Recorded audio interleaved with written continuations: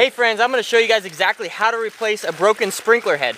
So if your sprinkler head looks like this and you have the sprinkler head in your hand, then this video is for you. So let's get to it. So first thing what you're going to want to do is turn on your sprinkler valve and with the Orbit style you just turn the solenoid to the on position until all the sprinklers turn on. And then you're going to want to look around and identify where your broken sprinkler head is and mark it with something. Once you got your sprinkler valve off, you're going to want to dig up, dig around where your sprinkler head was to figure out exactly what is needed.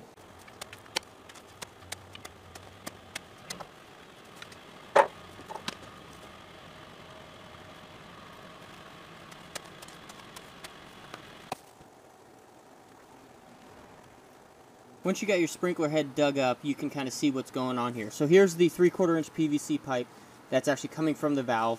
This is the 3 quarter PVC pipe that's actually going to the next sprinkler in line. So this is our problem here. This is the sprinkler riser, and as you can see, it's kind of ragged here on the top. So this is what broke. The, the actual sprinkler head just snapped right off here. So what we're going to do is remove this black piece, which is the riser. This white piece is what stays. This is the T that stays. That's part of your sprinkler system. We're going to remove this T, take it to Home Depot, get it matched up, and we're going to get a new one, install it here. Um, if, you, if you're not sure what to get, go ahead and remove this, bring it to Home Depot with you, or Lowe's, whatever you prefer, and uh, just pick up a new one of these. Obviously, this is going to be uh, contingent, the, the, the height of this is going to be contingent on getting the sprinkler head flush with the, with the level of the grass when you're all done. So you're going to want to keep that in mind. So to remove this, you just kind of grab it with some pliers, and you do lefty-loosey, righty-tighty, just like any other thing that's threaded in. And once you do a few turns, it will most likely come off by hand. And this is what it looks like right here. It's just got half inch thread right here on the bottom, screws right into that. And as you can see here, this is where it snapped off right here.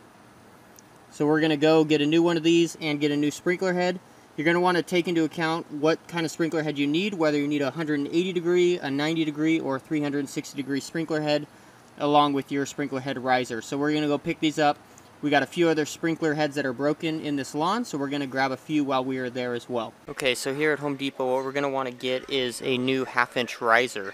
Um, so as you can see here, this is our old one that we brought in. You can see it's half inch by half inch, and this one's quite a bit taller, but what we're going to do is we're going to end up cutting this to the appropriate height, whatever height we need. And so if you don't have one, we're gonna you're gonna need to grab some sort of cutter. A PVC cutter usually works best for this, just to cut these at the specific height. And you're also gonna want to pick up uh, sprinkler heads. Um, these ones I like particularly because they go they range from zero to 360 degrees. You can adjust that so that uh, you know, or you could get a taller one, whatever works best for you, whatever style you had. So this will obviously depend on how high you cut your riser to. But these are the few things you're going to get. You're going to want to match up whatever sprinkler head you need if you need a new one. And then also a riser and however many risers you need. I always get a little bit extra of these. They're, they're pretty cheap and you can return them. I also get extra sprinkler heads just in case one doesn't work or anything like that. Another thing I wanted to mention about these risers is there are three different styles. There are, so this one here is a half inch by three quarter inch, and this one is three quarter inch by three quarter inch. So that's why it's best to bring the riser that you had originally to the store with you so you can match it up. See, obviously this one wouldn't work. So if you were to get this one, it would not work for you. This one would not work for you. This one is the one that I need particularly. In your case, you may need one of these, but it's best to bring the one that you already have to match it up. Okay, we're back from Home Depot with all the parts that we need for this project. And believe it or not, you've already done the hardest part of this project right now. So we're going to get to the rest. So really, uh, the whole theory behind this is we are going to be hooking this riser back into here. So it's going to be uh, going down about that far. And then this is going to be plugging into the top here.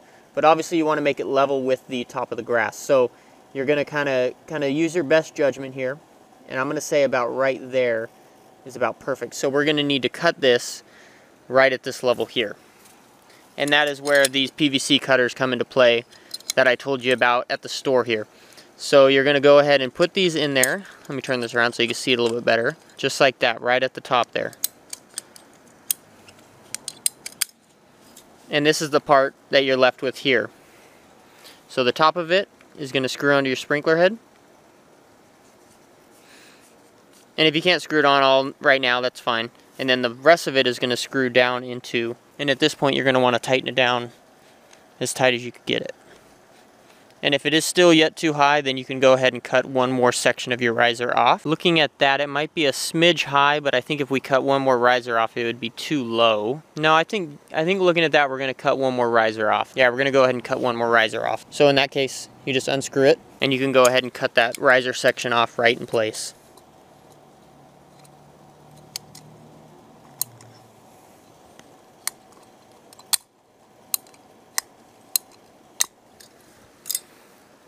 So we went ahead and cut one more riser section off, so we're going to screw our sprinkler head right down into place.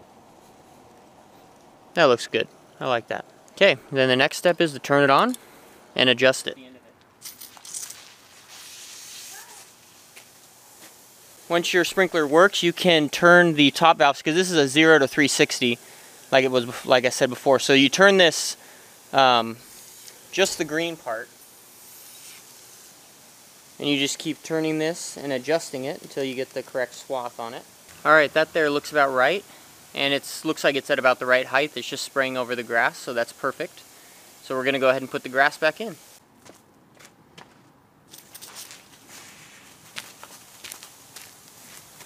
Alright, there's not much to the grass right there, but we pretty much got it all back in. We got it aimed correctly. So that is a successful sprinkler head repair.